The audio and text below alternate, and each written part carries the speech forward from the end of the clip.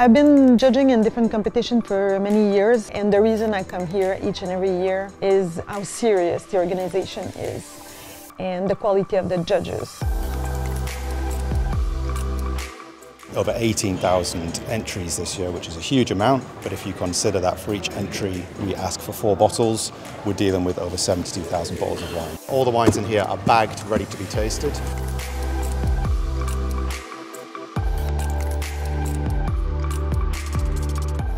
Now the one golden rule at Decanter is no one takes the plastic bag off the bottle, even if you're one of the head judges. The first stage is getting through more than 18,500 wines and having a lot of expert judges come to do it. Lots of master sommelier, lots of master of wine, lots of people that have lots of experience. I love the process of coming back together at the end and just exchange opinions and exchanging scores. Everybody brings to the testing something particular and so the discussion sometimes quite tough but in the end is to give the best to the wine. There's no preconceptions at all. A wine's judged blind. Um, it's completely what's in the glass. In a typical day I would taste uh, 75 to 85 wines.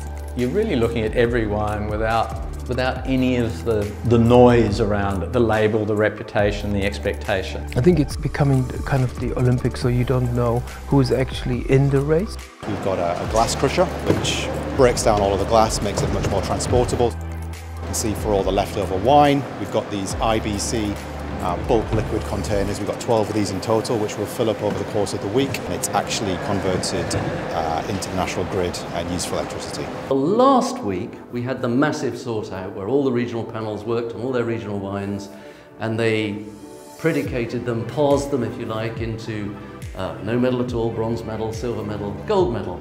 This week uh, as a sort of security check uh, and as a way of grouping and, and, refining our gold selection. We look at all the gold wines again uh, in order to check that they really are gold standard and we're looking for the very best wines amongst those gold wines to be promoted to platinum when we read out the results at the end to see what people thought and we get scores like 95, 96, 97 and everybody could see that it was a brilliant wine. That's a great feeling. I think it's the toughest wine competition to enter because the standards are very, very high. Only the very, very best that will make it through. The medals have to be earned.